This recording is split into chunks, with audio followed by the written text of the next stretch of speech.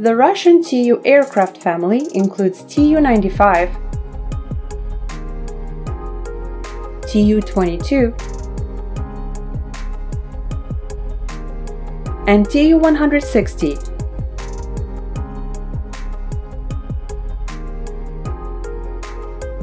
All three are capable of long-range missile strikes. One of the symbols of the Cold War is the Tu-95 bomber, also known as the Bear.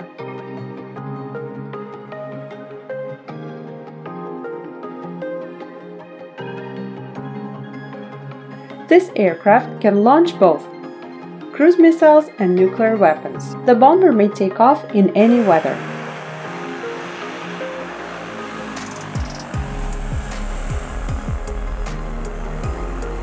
The need for long-range aviation in the Soviet Union was recognized immediately after the Second World War, when the global confrontation with the United States began.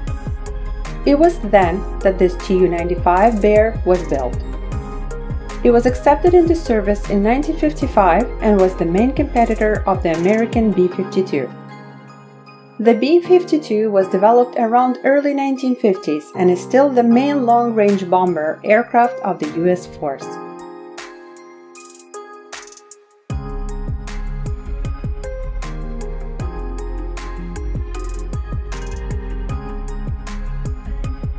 The turbopropeller giant Tu-95 can travel up to 14,000 kilometers. Both the internal and external designs are still quite old-fashioned.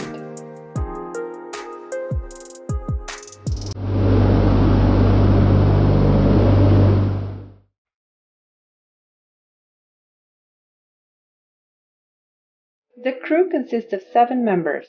There are few computer systems and most operations are done manually. The aircraft may carry up to 8 missiles.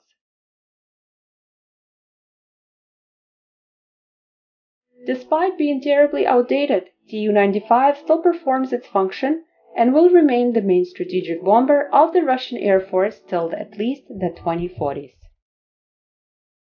As of 2020, Russia had 60 Tu-95 aircraft of various modifications in service. In the process of modernization, a more modern navigation computer system and an integrated control system were installed on the Tu-95 MSM. The Tu-95 MSM bombers were modified to use KH-101 and KH-102 stealth missiles. The weapons bay was expanded.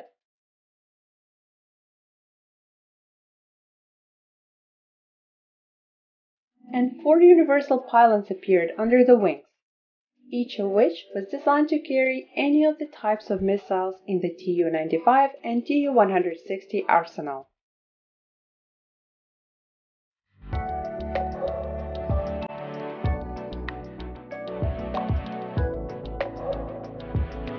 In the 60s, the Soviet aviation industry created Tu-22M3 missile carrier with jet engines.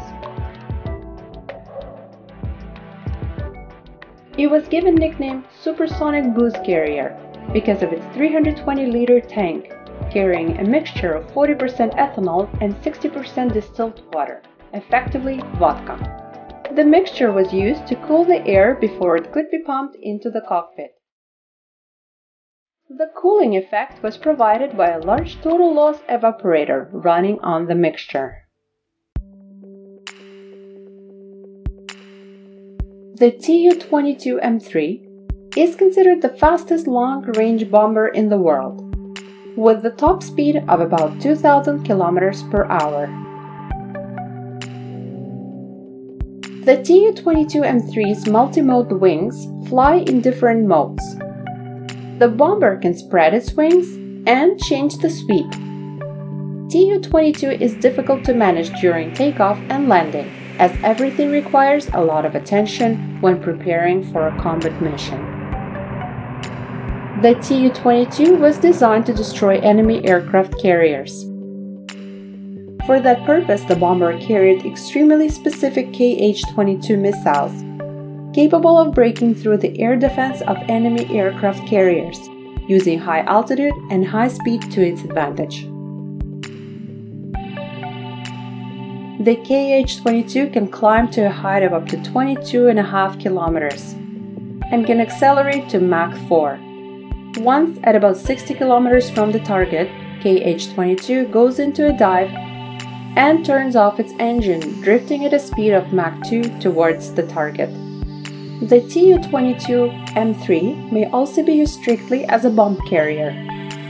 The maximum bomb load of the Tu-22M3 is 24 tons, of which up to 12 tons go into the internal bomb bay and another 12 tons go under the wings. Last but not least is the Tu-160. Another Soviet development, Tu-160, also known as the White Swan, is the largest and the most powerful supersonic and variable wing aircraft in the history of the military aviation.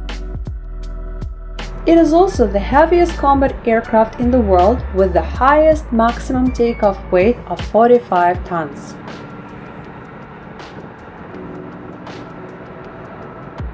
This world's fastest bomber was a response to the American B-1 supersonic strategic bomber with variable sweep wings developed in the 1970s and 80s.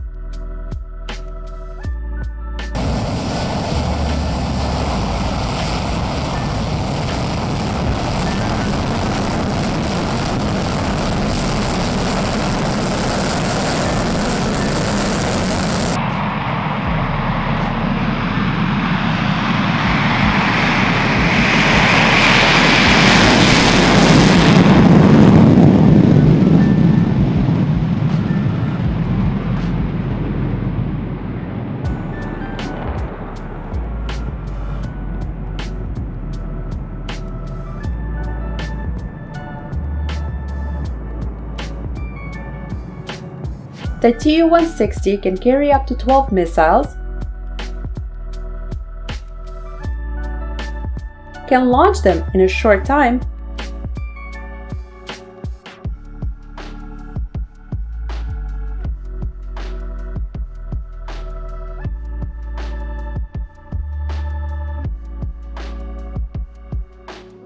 and can reach speeds of over 2000 km per hour.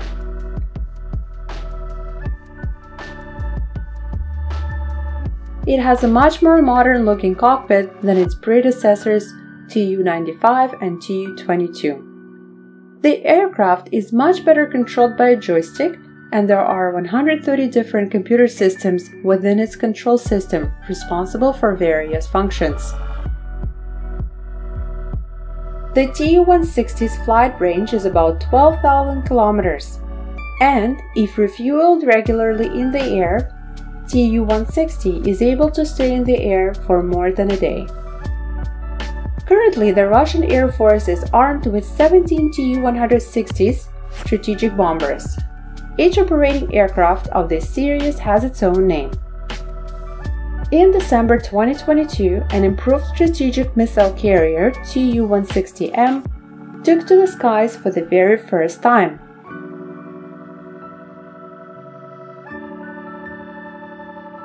The updated Tu-160M is a transitional version of a new generation of strategic bomber missile carriers, which will appear in service in 2027. It is expected this new aircraft will replace the Tu-95, Tu-160, and Tu-22M3 strategic bombers.